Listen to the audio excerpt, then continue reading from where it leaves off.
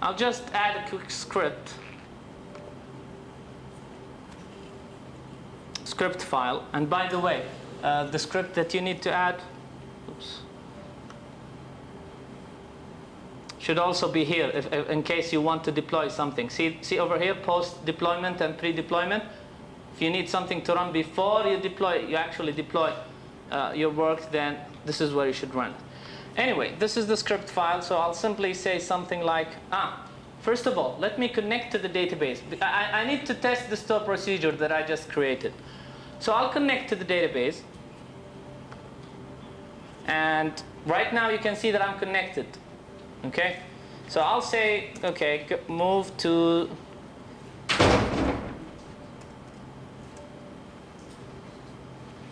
uh, what was the name of the database? DAC demo, right? Some reason, it's is it connected? Yeah.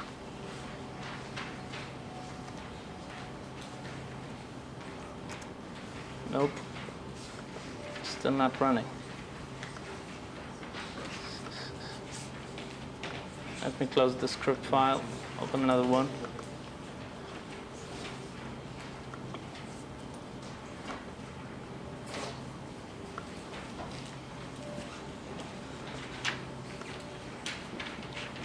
Again.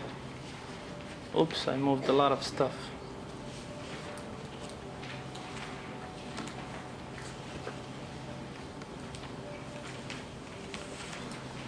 Connect again. Yep, yep, I moved the objects by mistake, I think. Here.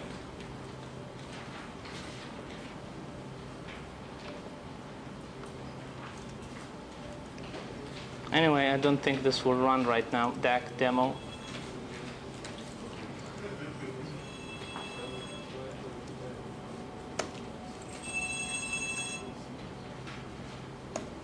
What was the name of the sub procedure? Get all employees. Now, what I'm trying to do here is this. Who here knows about uh, actual execution plans? You should run. You know, the plan that is running on SQL Server. You can have this in here. And I will also add the uh, statistics that should run. I can run the query from here.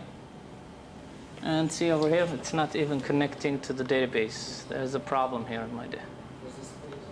Hmm? I think it's because the project was damaged. So what I'll do quickly, okay, I'll, I think I'll need to create a new project. How much time do I have? 10 minutes. Anyway, I think I, it's damaged, so I'll quickly, very quickly, do this again.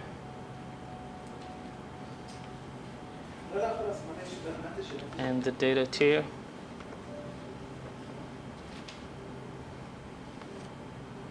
Let me just extract the latest one to get the same changes that I just did. And again, gonna put this in the desktop. Let's call it 2.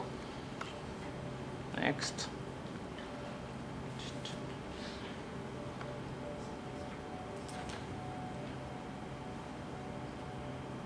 Anyway, once this is done, I'll import this again in this new project from this file, desktop, and demo 2.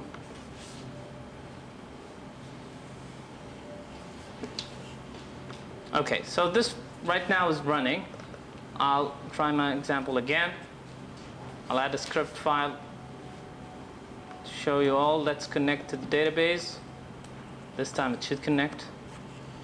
Yeah. Yeah, this is what I was trying to do. Uh, you can see this is online in IntelliSense. Okay, so it, it gets everything from the real database.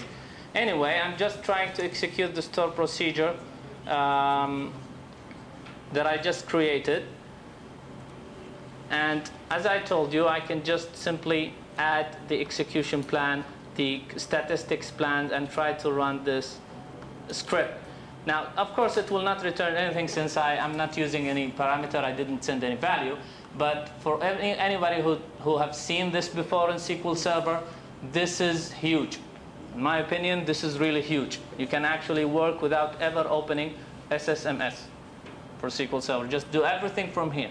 Not only that, there's a feature here in which I don't think you will get even in, in SSMS, the, the current way you're running. I can actually put a breakpoint and run this from within my project. Now, I'm going to ignore some errors that will appear here. I can fix them later. Oops, no. I should have said yes. Yes. Uh, oops. Again. This is a different... This is not my machine. It's Halabi's machine. This is the AT. the what? This is a DAT project. Uh, this is a DAC pack, yeah. A, a DAC project. Usually people call it DAC. Okay? So I I just need to run this as an admin in order to, you know, debug SQL Server. In a database project, can we add also a breakpoint? Yes, yes, for breakpoints right now, yes, these features are available. So right now what is happening is, you know, I'm not, I'm not really, I, I wasn't interested at first when I saw this. I said, so what? I mean, what? You can just move step by step, jump into a store procedure, okay. A, a nice feature. But the nice thing, the really nice thing I think about this is you can actually you know, get all the features of debugging for Visual Studio, uh, uh, you know, for SQL Server. So I can get the value of the parameter, get the values of whatever I'm running within the script. And this is a really cool feature, I think, uh, you know, in Visual Studio. By the, yeah. debug a stored procedure. Yes, you can run within stored procedures. Now, uh, I forgot also to show you some stuff. Uh, for now, let's just stop this. Uh, there's an, also a very nice feature. Uh, you, you can see it here from data. There's something called static co code uh, uh, analysis. Now, what this what this does actually, it gives you some libraries in which you know the best practices for SQL Server. Can uh, can anybody tell me what's the problem with the script I've written so far? There is a problem with best practices for SQL Server.